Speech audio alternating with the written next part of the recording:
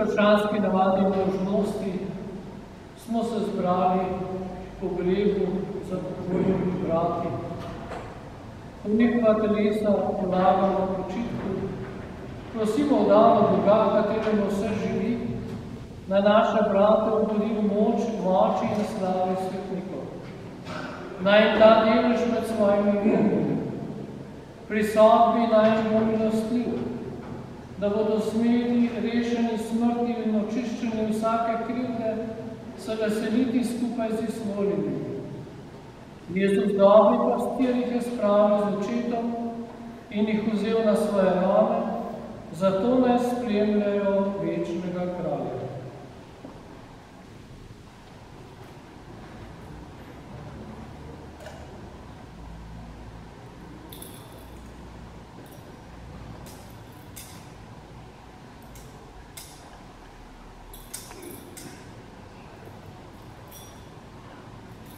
Придите на помощь, светники Божьи,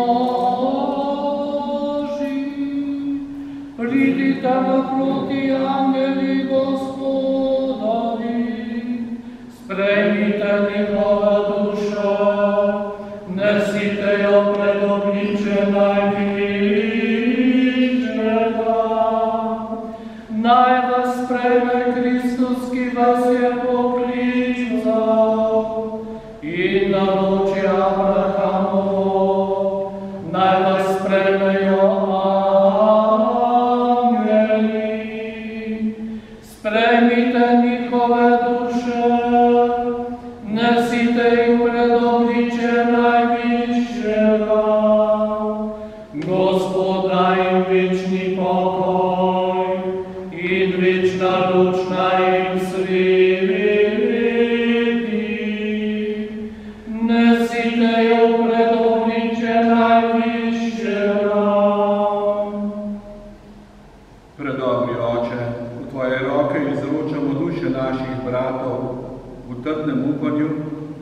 bodo z vsemi, ki so v Kristusu umrli, ustali poslednji dan.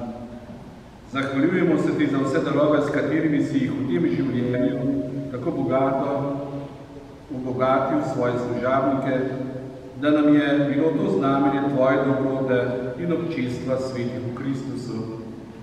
Odpri svoje usmiljeno srce našim prošnjam, da se bodo tvojim služabnikom odprla rajska vrata in da bomo mi, ki smo tukaj ostali, drug drugega tolažili z besedami vere.